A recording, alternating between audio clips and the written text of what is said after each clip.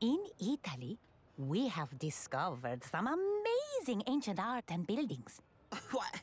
I've seen lots of amazing buildings in my time.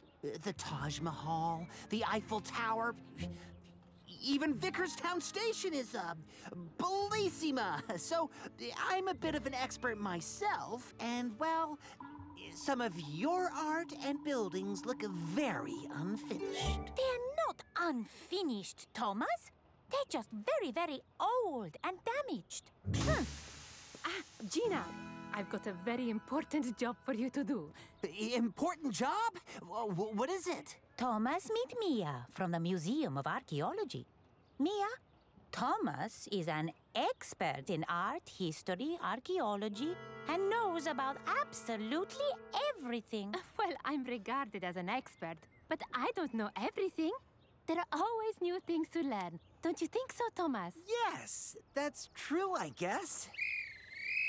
Nice to meet you, Mia.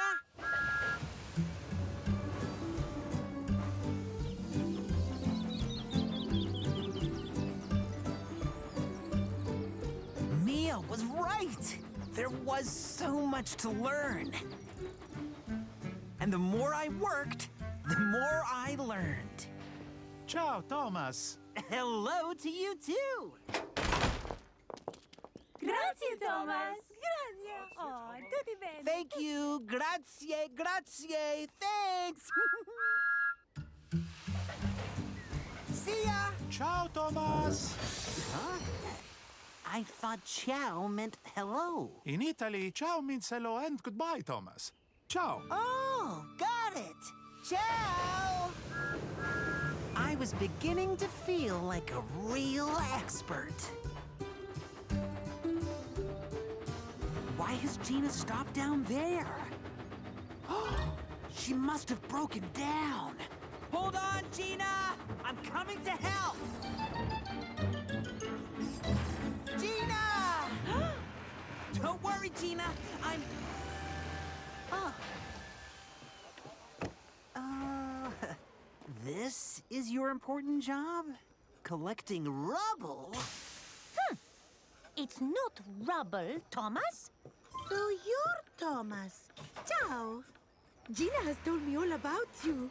I'm Esta. Welcome to my construction site. Construction site? The construction sites I've been to are much busier. Oh, here we go. With more vehicles and things being, uh, constructed. This just looks like you're digging a hole.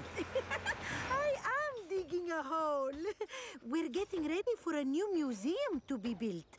But the build has slowed down because of the archaeology. Oh, Thomas understands all about that. Yes, yes, archeo... Archic... Archae... Archaeology. Thomas is an expert.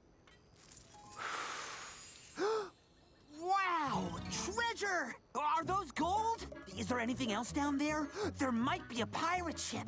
Dig faster and see what else you can find. You sound like the lost engine. He does, doesn't he, Esther?